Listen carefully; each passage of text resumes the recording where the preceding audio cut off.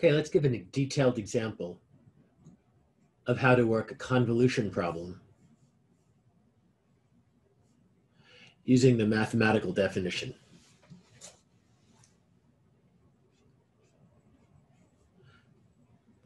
So big picture, remember that convolution is how to directly compute the output if we're given an input and an impulse response. And we represent this using the notation that the output is equal to the input convolved with the impulse response. The mathematical definition of convolution is the integral. We have to use a variable of tau of our input x of tau times h of t minus tau d tau. So tau is a dummy variable, it will go away, and we'll be left with just a function of t. So let me give a detailed example. Say we have an input that decays.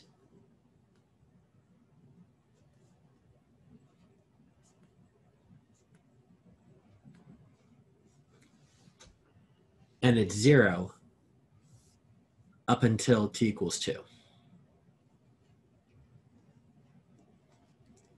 And at two, it pops up to a value of two. Here's the two out here. And it decays down. Decays down relatively quickly. It's negative.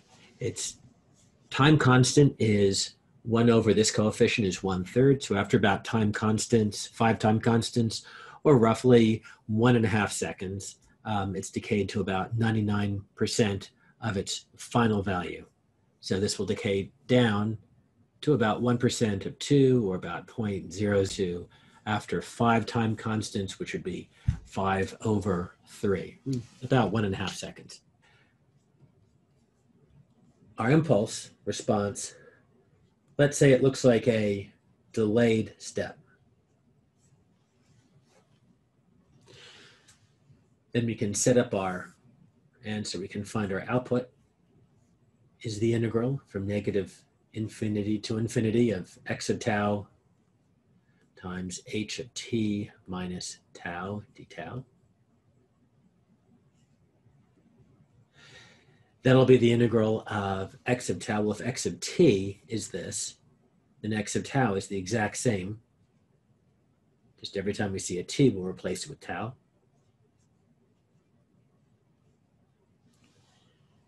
And we'll multiply it by our h of t. Now this says that every time we see a t in our impulse function, well, we will replace it with a t minus tau.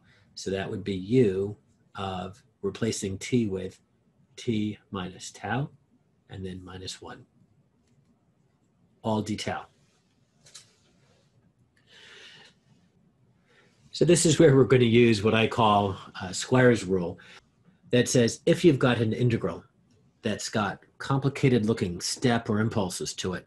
Get rid of those steps and impulses first by changing around these limits of the integral and then do the integration once you've got the, the simplified limits. So we've got this step and we've got this step.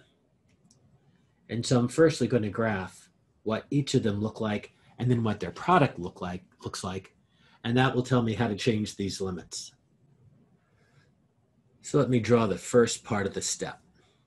The first part is u of tau minus 2. So I know that it goes to, it something changes in the step when the argument is 0, and the argument is 0 when tau is 2. So when it's 2, something is changing. That's when the argument to the step function is 0. And if my tau is very large, the argument is positive. So the step is one. And if tau is very negative, then the argument to my step function will be negative, and so u of a negative number is zero. So that gives me the first part. Let's graph the second part. Now the second part is a function not only of tau, but also of t. So we're going to have to decide some value of t to graph this for. Um, I'm going to throw out a simple value of t that kind of makes sense to me. Let's graph it for t equals zero. And we might have to modify that depending upon what we get. When t is zero, we end up getting u of zero minus tau minus one that we want to graph. So we can see that that changes. It's a step that changes when the argument is zero. So it changes at negative one. For very large positive values of tau, this argument becomes negative. So u of a negative number is zero. And for very negative values of tau, the argument becomes positive, and the step function of a positive number is one. So it looks like this. And although it does look like this, I think we could see that if we graphed it for a different number, let's say we graphed it for t equals one, it would instead be shifted to the right by one. And if we graphed it for t equals two, it would be shifted to the right by two. So in general, for any number at all, for any value of t at all, this u of t minus tau minus 1, it looks like a step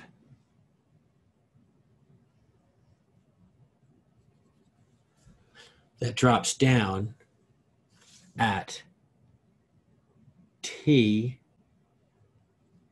minus 1. And again, you could see that by asking yourself, for what value is this argument 0? When is, for what values of tau is t minus tau minus 1 equal to 0? Because that's when it will, of course, when the argument of the step is 0, that's when it, it does its thing. And we're interested in what value of tau since we're that's our independent variable. And we can solve by pulling tau out to the right, and that's equal to tau equals t minus 1. So that's where it changes. So I'm going to erase this intermediate step and realize that in general, for any time t, this is what the second part of our integral equation looks like. So now the question is, what does it look like when we multiply them together? Well, as I've graphed it, you can see that one of two things are going to happen, and it depends where it falls down. If it falls down to the left of where this goes up, we're going to get nothing. So we're going to have one of two options with this. Either we're going to get no overlap, and we'll get no overlap when this is less than this. So whenever t minus 1 is less than 2, we're not going to get any overlap. And it's just a kind of a weird way of saying we can simplify that. If t is less than 3, we'll get no overlap. So if we get no overlap, such as is shown for this particular example, there's no overlap, we'll end up getting zeros everywhere when we multiply the first equation by the second equation. When we multiply this portion by this portion, then we will get no overlap in our u of tau minus 2 times u of t minus tau minus 1. There'll be no overlap, and our integral, when we get that, will of course be 0. Another way of just thinking about it is that if t is less than 0, this first step times the second step will give you 0 everywhere for all tau. But for t greater than 3, you do get overlap. For t greater than 3, this will be to the right of this. And when you multiply these things through, you'll see you get 0 up until the time that this pops up. So it's got to be 0 in this region because you're going to be multiply you're multiplying this top by this bottom. And if this is 0 for time less than 2, the product has to be 0 for time less than 2. After that, this is 1 but this is going to drop down at some point, and it will drop down at t minus 1. And for t greater than 3, this right side will be to the right of the 2, and we'll get some sort of box. And it will be of height, since, you know, what height will it be? This is a step, this is a height of 1. And this is a step, it has a height of 1. So 1 times 1 will give this a height of 1. It's 0 out here. And its width will be t minus 1 minus 2. It'll be the right side minus the left side. So it'll have a width of t minus 1 minus 2, which again is a complicated way of just simply saying t minus 3. So now the last step is, or rather the next step, is that it means that this integral is one of two things. It's going to be either the integral of 2 e to the minus 3 tau times 0 d tau for any values of t less than 3.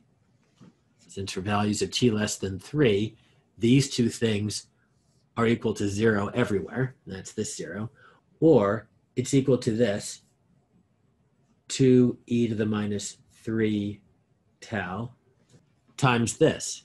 So this has got, this is defined over three different places.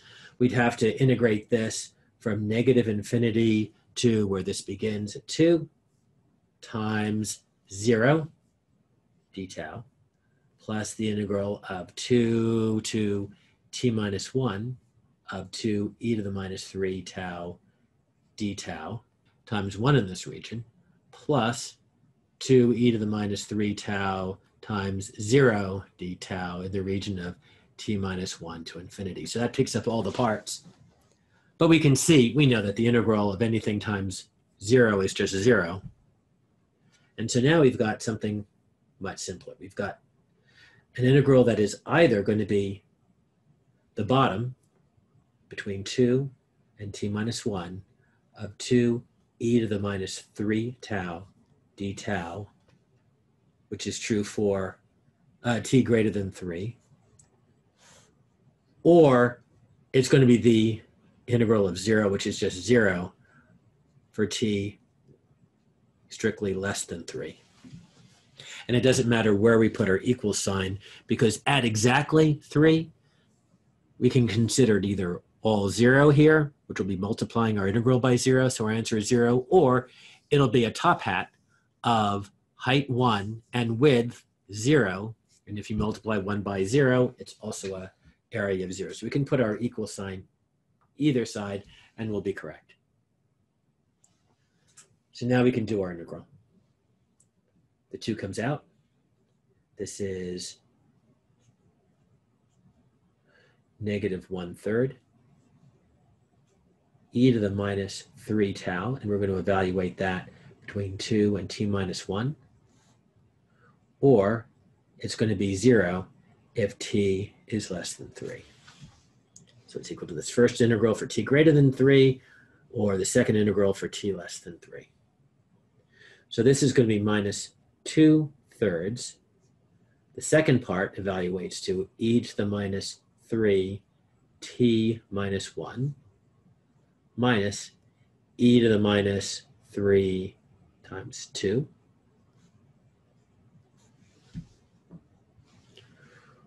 Or 0 if t is less than 3. So I'm going to clear off the right side and continue this on. So this is equal to minus 2 thirds. Now just some basic algebra. We've got e to the minus 3t plus 3 minus e to the minus 6. And that's true for t greater than or equal to 3, or t equal to 0 for t less than 3. See, I can get rid of that minus sign by flipping the order here.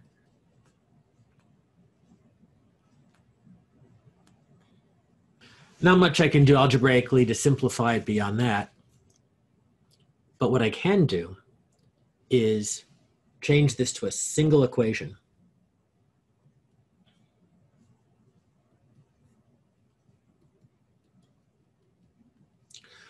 I can say, what can I multiply this by so that it doesn't change this at all if t is greater than 3 but it multiplies this by a zero, making the whole thing zero if t is less than, than three. And the answer is a step like this. So for t greater than 3, this becomes times 1, and we get the bottom. And for t less than 3, we're multiplying it by the 0 by 0, and we get the top. So this is our answer using calculus.